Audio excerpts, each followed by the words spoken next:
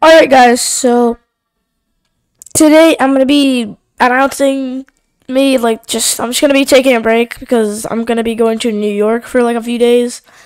I might record like some videos there and then upload them later. Oh, oops, I did not mean to open Google. But I'm just letting you guys know. Alright. Alright, bye, guys.